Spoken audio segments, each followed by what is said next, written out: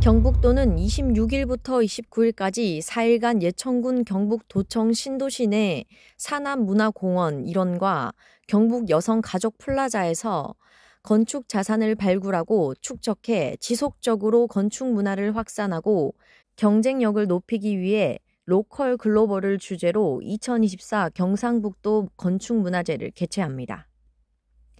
경상북도 건축문화제는 2009년부터 시작된 행사로 건축 문화와 기술 발전 홍보 등 건축의 공공적 가치 실현과 건축 문화 저변 확대를 목적으로 건축 관련 전문가들만 아니라 도민, 학생 모두 함께 소통하고 만들어가는 축제의 장입니다. 이번 전통과 미래의 만남 로컬 글로벌에서는 공모전으로 건축 문화상, 학생 작품 공모전, 건축 작가 초대전과 특별 전시로 청년 건축 시범 마을 조성 사업, 경상북도 교육청 특별전, 경상북도 도시 재생 사업, 중국 조선족 자치구 감찰 설계 협회 작품전, 경상북도 세계 유산전, 도청 신도시 발전 변찬사를 마련했습니다.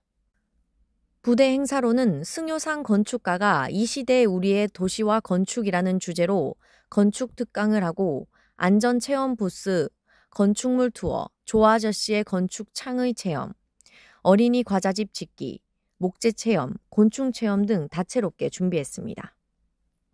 이철우 경북도지사는 지역의 정체성과 혼이 담긴 미래 문화유산으로서의 가치에 초점을 맞추는 새로운 시각의 건축 문화 대전환을 이루도록 모두 힘 모아 보자라며 오늘 개최되는 건축문화제를 바탕으로 건축인들의 창의적인 활동을 적극 지원하고 건축문화 발전을 위한 노력을 아끼지 않겠다고 밝혔습니다.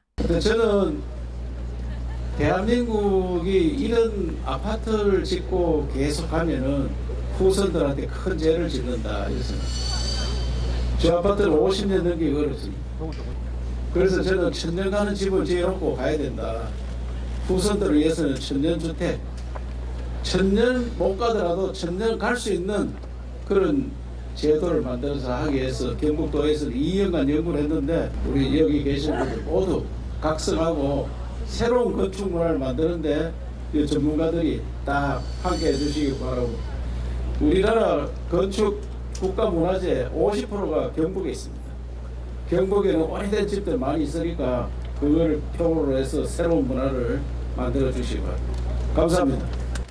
우리 경북의 힘으로 대한민국을 하는 말이 모든 분야에서 하나하나 해나가면 대한민국이 그렇게 된다 이런 뜻으로 우리 지사님께서 하셨거든요. 이 건축도 마찬가지다.